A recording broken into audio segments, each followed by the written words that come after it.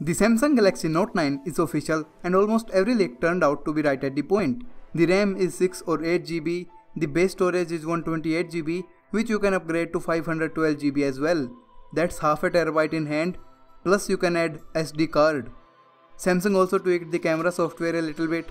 There's a scene recognition built in, 4000 mAh battery. That's everything you want from a phone. But we aren't here for the phone now. We are here for the S Pen. It's the industry's best. I mean, if you think about it, you will be amazed to hear what they managed to pack in this small structure. The pen is almost the same size as the Note 8's S Pen.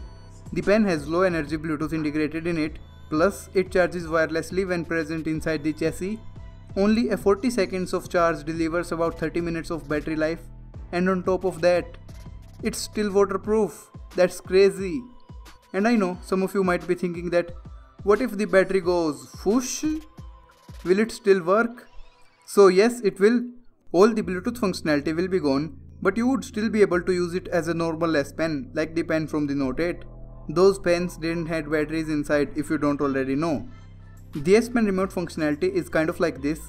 By default, if you press and hold the button, it will open the camera app.